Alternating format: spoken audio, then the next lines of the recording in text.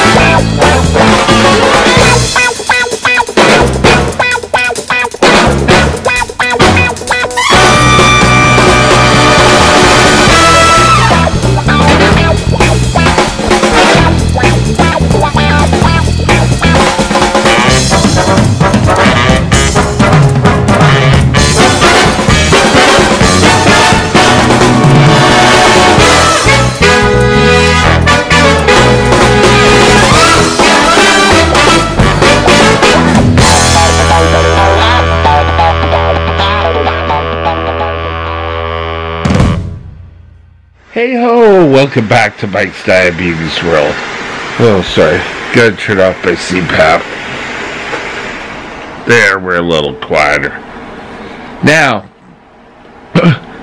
at the end of a lot of my videos, I say, you control diabetes. Don't let diabetes control you.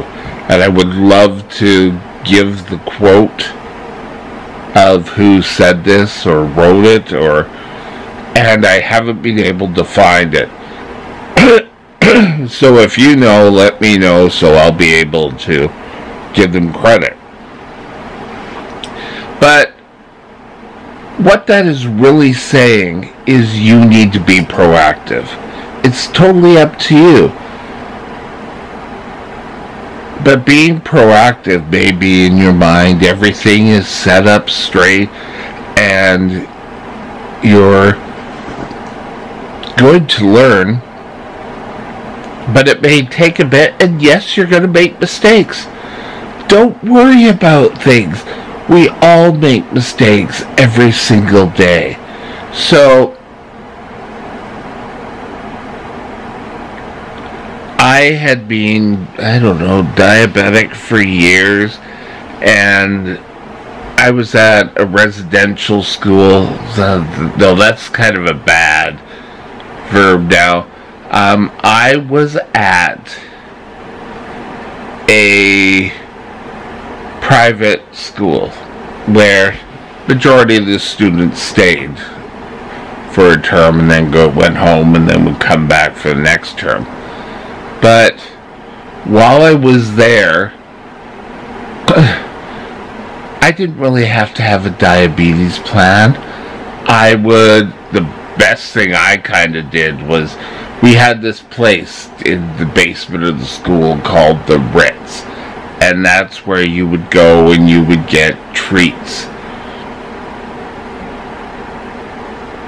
And I would fill up with chocolate bars because in my mind I was going to treat a low if I had it. Mm, I didn't really eat them for a low. Side mouth there. I would eat them regularly, but yeah, so. But getting out of school and starting working, and you found that you needed to be proactive. I had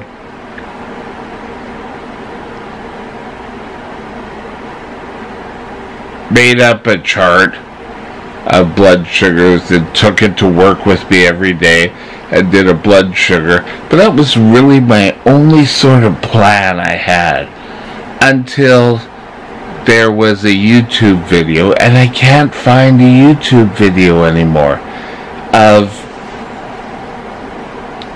this guy made up these emergency bags for his wife. And his wife had one for when they were going on a travel and a nice little first aid kit. And then there was one where she would be able to take to work with her every day. And I thought, God, that's wonderful. And that's where I kind of click on, oh well, let's make kind of a chart for me and the doctors and the nurses who took care of me. And in this chart, I would list all the plans the doctor had said. You know, if you're sick, do this. So I had that. I had the amount of carbs.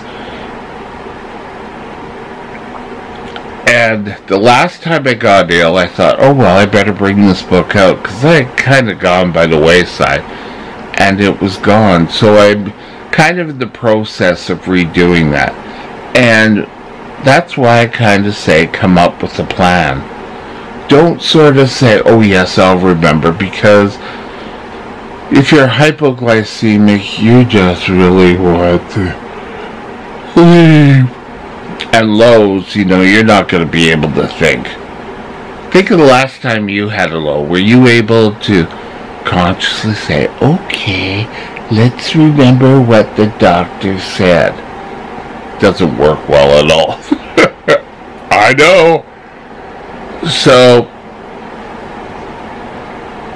come up with a plan and how you'd like to save it that works for you. Now, part of this also deals with having an emergency bag or something that you can take with you and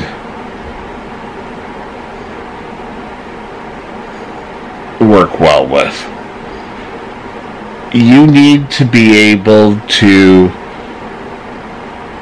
treat your diabetes and then just go on your job instead of saying, oh, I gotta go home, I'm sick.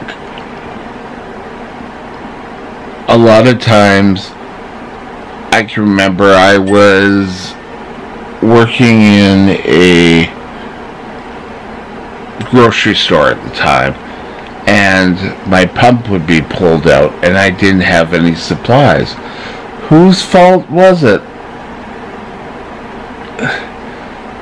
you know, and it's unfair to say to your employer, oh, excuse me, I have to go home. So, I really started carrying the supplies with me. And, you know, I had a whole pump change and I do again. I have some insulin in the bag with me. I have needles. And you know, I've been watching a few videos on YouTube. Sorry, scratching. And, you know, there's these things where being stopped by the police and being searched by the police. I've never been searched by the police, but I don't know why this stuck in my mind. And saying, what, oh my God, what's going to happen if they find a syringe? So, I think I'm going to have to get a note from the doctor again. And I've talked about the note in traveling. But not so much just a general note explaining that I have type 1 diabetes.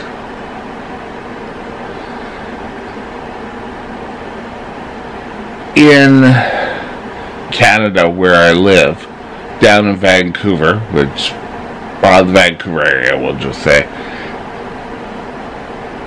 you rely on your pharmacy and any sort of pharmacy chain that you could go to and say, hey, I'm out of insulin, can I get some more diabetes supply? Don't just kind of uh, assume that because there'll be some time you're going to run into problems. And I can remember going to a scout camp and getting there, you know, getting the kids all situated. It was more cub camp than a scout camp. And all of a sudden realizing I forgot my insulin. Well, thank God one of the mothers was still there and ran, ran into town and got me some insulin. But what would have happened if I didn't have the insulin there or couldn't get the insulin there? I would have had to pack up and go home. So you really have to go through in your mind all the chances of things that could go wrong and be prepared for it. Oh, the plan again. Ooh. It's amazing how everything's mixed together. But get to the plan, get yourself situated, make sure, even if you're going just to the grocery store a block away, make sure you have your kit with you. And friends would come and take me places years ago and I'm just talking like we could go out and get out and I'd go and we'd run into problems. I didn't have the bag bag with me. So it got to the point, oh, do you have your bag with you? Oh, it's upstairs, don't worry about it. They went upstairs, got the bag, and brought it down. So remember, be proactive. Don't let surprises surprise you. There. You'll enjoy yourself wherever you go so much more. Anyway, I hope you have a great day. We'll talk to you again soon. Bye now.